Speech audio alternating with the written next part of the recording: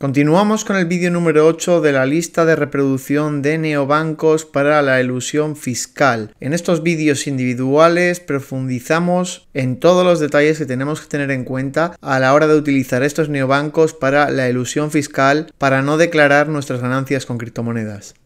Por si no lo sabes, todo esto parte de un vídeo llamado Tabla Definitiva Top Neobancos 2024, el cual verás la imagen aquí a la derecha y te dejaré los enlaces en la descripción y en las etiquetas. En este vídeo os presento una tabla de forma totalmente gratuita la cual puedes solicitar si cumplimentas todos los pasos que se indican en este vídeo y en esta tabla que sería la que veis aquí de fondo, la cual realmente está totalmente cumplimentada, pues nos ofrece una serie de datos importantes que todos necesitéis conocer para realizar el proceso de elusión fiscal de entrada y de salida del mundo cripto de forma correcta y de forma lo más anónimamente posible. Entonces, como ya he dicho en ocasiones anteriores, en estos vídeos lo que hacemos es profundizar más en cada uno de estos neobancos para ampliar la información que aparece en la tabla y actualizarla. Vamos al meollo del asunto y vamos a tratar las preguntas típicas que tenemos que conocer, las cuales aparecen aglomeradas dentro de la tabla, pero aquí vamos a profundizar un poquito más y actualizarlo. Una de las más importantes y más simples es el IBAN. En este caso el IBAN es de Estonia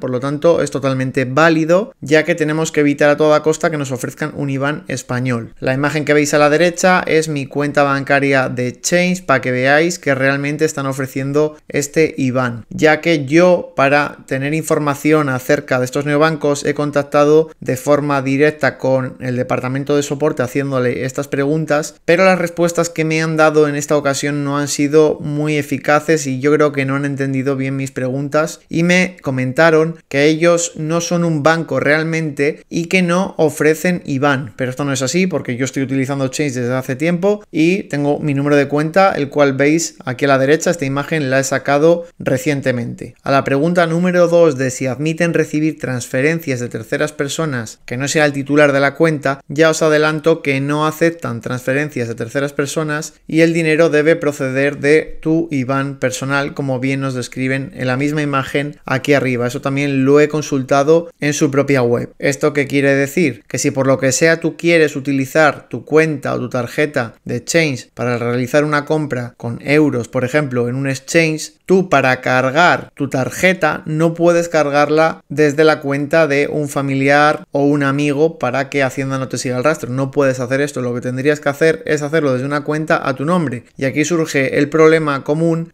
de que si haces una transferencia a tu nombre desde tu, desde tu banco corriente, que es un banco como el Banco Santander, BBVA, el que sea, con IBAN español, ya la estás cagando porque recuerda que no puedes dejar el rastro desde tu IBAN español. Esto lo tratamos en un vídeo que te va a aparecer aquí a la derecha las etiquetas y en la descripción, en el cual tratamos todo el proceso de entrada y de salida y los pasos y puntos que hay que tener en consideración y que hay que cumplir a rajatabla. Entonces, en esta casuística, en la cual no pueden enviarte a otras personas dinero a tu cuenta personal para tú comprar criptomonedas, en un exchange lo que tienes que hacer es, por ejemplo, utilizar el neobanco eCard, que ya hemos hablado de él hace unos cuantos vídeos, ya que eCard sí admite transferencias de terceras personas, entonces si alguien te envía dinero a tu cuenta de eCard y por lo que sea quieres comprar desde Por lo que sea, pues puedes utilizar eCard de intermediario para mover dinero entre neobancos. ¿Cuál es la comisión por realizar una transferencia SEPA? Aquí para realizar retiros de dinero fiat siempre nos van a cobrar un euro, independientemente de si es transferencia SEPA o no. Si lo que queremos es depositar dinero en nuestra cuenta de Change no nos van a cobrar nada. Esta información que veis aquí recogida la he extraído de la propia página web de Change, por lo tanto está actualizada. Os dejaré el enlace a esta página con toda la información para que vayáis viéndolo por si este vídeo lo estás viendo muchos meses después, pues puedas entrar a esa página y puedas revisar que la información sigue siendo la misma por si ha cambiado.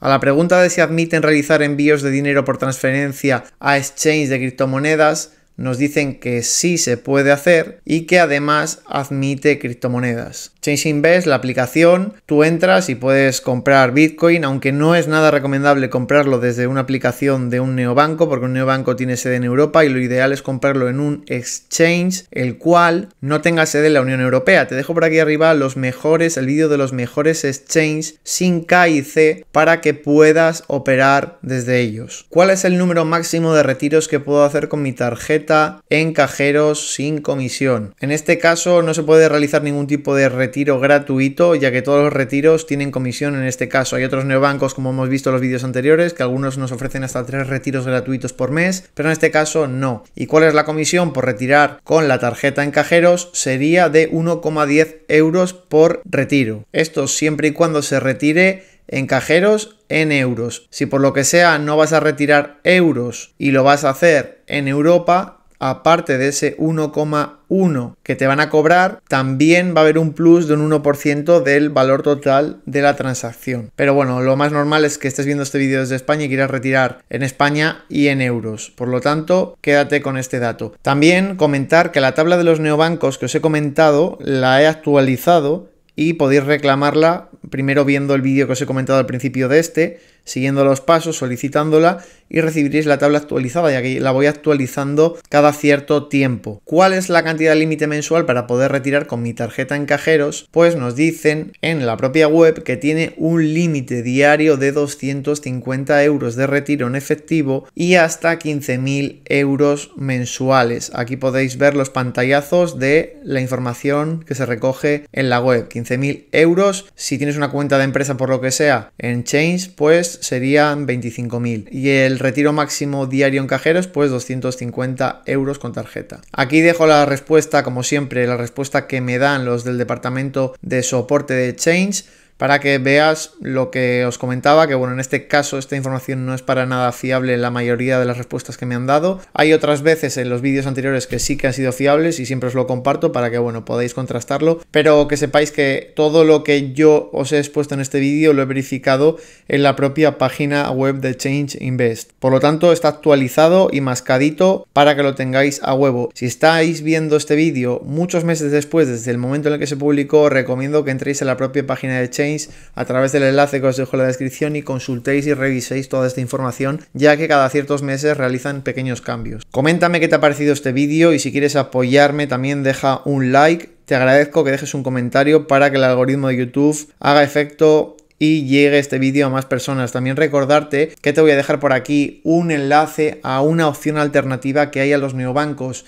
Esta opción alternativa se llama PayDC y se trata de una página en la cual puedes intercambiar criptomonedas entre personas. Se llama comercio peer-to-peer, se llama comercio peer-to-peer entre personas y está regulado por un smart contract para que no haya ningún tipo de fraude ni estafa. Y para mí a día de hoy es la opción más favorable, más fácil y que menos rastro deja, incluso menos rastro que los neobancos. Es una alternativa totalmente válida y te la dejo por aquí para que puedas echarle un vistazo al vídeo y comprobarlo por ti mismo. Te recomiendo que estés suscrito y actives las notificaciones ya que se vienen más vídeos de estos de neobancos y cada semana iréis viendo uno de ellos. Así que un saludo y nos vemos.